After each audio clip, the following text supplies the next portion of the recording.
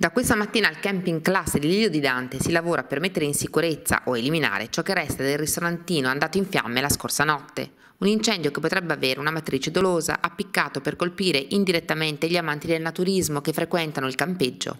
Ne sono convinti sia il proprietario del camping Roberto Giampreti che il presidente dell'ANER Jean-Paul Marcacci.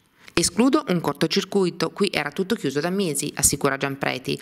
Se qualcuno avesse voluto danneggiare me o la mia attività avrebbe dato fuoco alle casine mobili oppure alla struttura all'ingresso del camping, non di certo al ristorantino.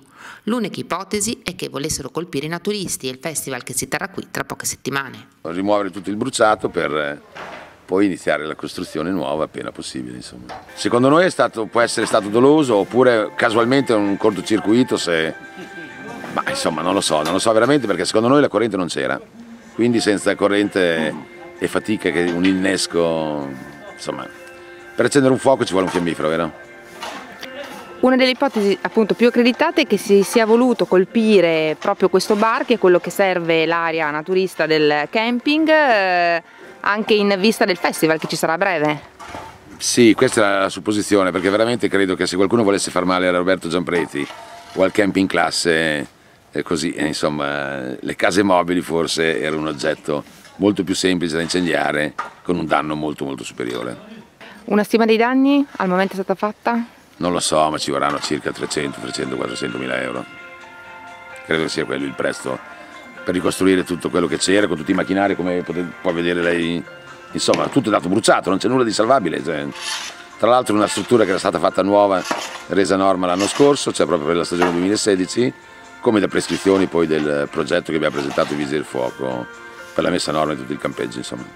Ora si lavora, si lavora comunque per eh, cercare di partire con eh, la stagione estiva 2017 con il bar mm, certo. agibile e recuperato. Sì, sperando appunto di riuscire, perché apriamo l'8 aprile, quindi naturalmente che i clienti che verranno gli 8 aprile di non vedere tutto sto, sto ben di Dio che c'è o tutto quello che c'è, sperando di riuscire a ripristinare il tutto per le date insomma, per, le, per la stagione estiva. Insomma. Eh, abbiamo annunciato eh, lo svolgimento del Festival Naturista entro oh, questa struttura appunto naturista, eh, ripeto una delle pochissime strutture naturiste che esistono in Italia, è un'eccellenza vera per la costiera romagnola. Appena, annunciato da qualche mese è cominciato il battage pubblicitario con, con molto successo, tanto che converranno moltissime persone fra il 25 e il 28 di maggio per eh, il Festival Naturista, ebbene, guarda caso, eh, si eh, va a fuoco proprio la struttura eh, predisposta e preposta a ospitare questa manifestazione. Quindi eh, noi non è che abbiamo la certezza perché quella non potranno che averla gli inquirenti, ma abbiamo un fondato sospetto che si tratti di un'azione dolosa proprio per evitare lo svolgimento di quest'altra manifestazione e soprattutto per diciamo, cercare di allontanare dalla zona storica i naturalisti, i nudo naturalisti che sempre invece stanno da oltre 40 anni nella zona costituisce il loro diciamo, campo base. Ecco, questo è il nostro timore, eh, più che certezza. Abbiamo timori che sia un'azione spregevole ed intimidatoria nei nostri confronti. Ma ne avete mai subito in passato? No, assolutamente no, smentisco, mai. Cioè, no, questa, questa, struttura è sempre stata, è sempre vissuta nella pace totale e nell'armonia, è proprio una delle caratteristiche la pace e l'armonia all'interno del mondo naturista.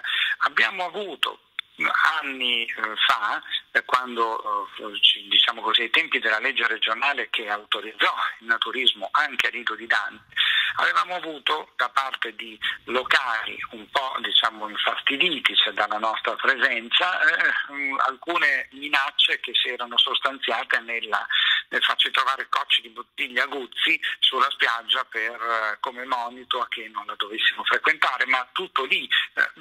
sicuramente smentisco che vi sia siano state mai minacce al campeggio, ai campeggiatori e al turismo naturista. Anzi, eh, per l'Ido di Dante è la risorsa, si può dire, ormai unica, in quanto la presenza nostra è il rapporto di 1 a 9. Mm, cioè, I turisti che noi definiamo tessili, cioè quei pochi che a Lido di Dante stanno nella parte tessile, rispetto a noi naturisti, eh, il rapporto è in estate 1 a 9, in inverno, cioè nelle stagioni intermedie, non in inverno, nelle stagioni intermedie 1 a 5. E questo proprio per dare sono anche ricavabili, dal, eh, ricavabili tranquillamente cioè da, fino a che la, il la, Comune di Ravenna ha avuto un ufficio che faceva il rilievo di questi dati.